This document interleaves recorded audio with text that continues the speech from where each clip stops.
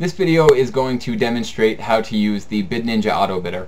This video goes for whether you're using Google Chrome or Mozilla Firefox as it's the same in both browsers after you have it installed.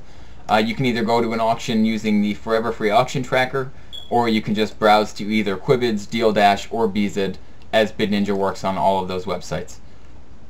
Uh, so I'm going to go ahead and open up an auction and you're going to see that I'm already logged into the analytics as well as the auto bidder. And you can see this is what it would look like for you to log in. And you would enter your login details as long, you, as long as you have access to the auto bidder.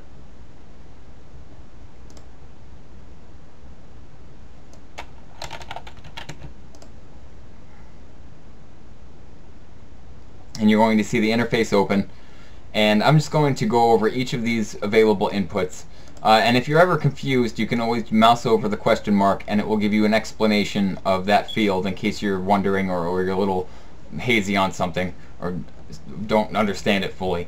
Uh, in any case, um, we'll go ahead and get started with the minimum price setting. Uh, this is the number that you want the auto bidder to not begin placing bids until the auction has reached. So if I didn't want the auto bidder to begin placing bids on this auction until it had reached, let's say $1.50, I would put $1.50 here. The maximum price you can leave this blank or you can enter the number that you want the auto bidder to stop placing bids for you at. So if you didn't want the auto bidder to place bids if this auction were above $2 you would put $2 here. The bid at and then blank seconds this is when you want the auto bidder to bid for you. This operates in tenth of a second increments and you can goes all the way up to 10 and as low as 0.7 and you can use your scroll wheel to change any of these values or you can type them in directly. Uh, so if I wanted it to place a bid for me when the auction timer here were at one and a half, I would put one and a half here. The don't place more than this number of bids. This is your bid limit. If you don't want it to place more than 100 bids, you would put 100 here. If you didn't want it to place more than a thousand, you would put a thousand here, and so on. The bid only if less than this number of recent bidders. If I didn't want the auto bidder to begin placing bids for me until the number of recent bidders as shown here were less than 5, for instance, I would put a 5 here.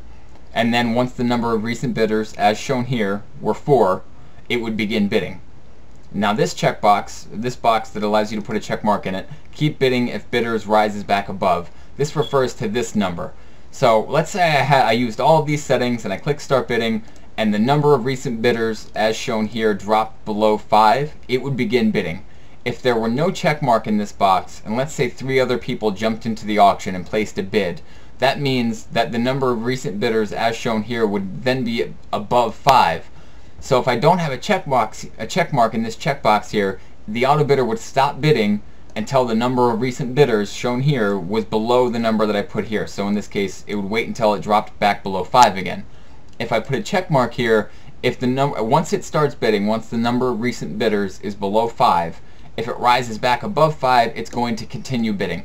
This is useful for if you just you're using a go all the way type strategy and you don't want to risk losing the auction because the number of recent bidders rose back above a certain number and it stopped bidding but one of those bidders won and then you, then you need to buy the buy the item at a, at a larger buy it now price since you placed fewer bids and lastly the or not quite lastly I have one more after this the place bidomatic bids this is a number if I wanted to, on an auction that has a bidomatic available as shown over here, if I wanted to place 10 bidomatic bids before it started placing single bids, I would input that number here.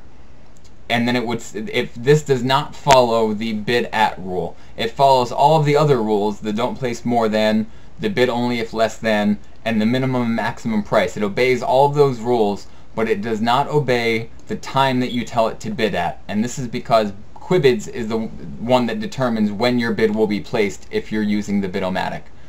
And then once it runs out of placing this Bidomatic bids, it then will continue to single bid based on the rules that you have here. Lastly, for the Bidomatic feature function, uh, if you put a check mark here, it will stop bidding for you after the number of Bidomatic bids that you've put here have all been placed. So if you put 100 here and then it places 100 Bidomatic bids, it's going to stop if you have a check mark here. If you don't, it will continue to bid single bids based on these input values up here. You're not limited to the the 25 bid limit that that Quibids has set on the Bidomatic. For instance, I can't put 100 here. If I were to put 100 here and try to activate it, Quibids would say I'm only allowed to put 25 here, and that means that I need to continue, I need to be in front of my computer to reset it. I can put whatever number I want here. I could put 100, 1,000, 2,000, however many bids I have available in my account, and I can put that number here and the BidNinja auto bidder will always make sure that the auto bidder or that the Bidomatic is running. And then lastly, the prevent lockout. You can see that there's an indicator here that shows when you're in danger of being locked out. That shows you when you're in, in danger of being locked out. If it's green, it means you're not in danger of being locked out. If it's yellow, it means you are. And if the auction is already locked and you're locked out, this will be red. In any case, if I put prevent lockout and then start bidding, it will place just enough bids for me to prevent me from being locked out of the auction. It will completely ignore all of these settings above. Uh, meaning, if I put a checkbox here, it's always going to make sure that my status for the auction is that I'm not in danger. And the reason for this is because once an auction locks, if you're if you were in danger of the auction being locked out when the auction locked, when it locked, that means you're no longer allowed to place bids anymore. So this is an important function that allows you to set up the auto bidder far in advance of when an auction will start and it will always make sure that you've placed just enough bids to not be locked out of the auction.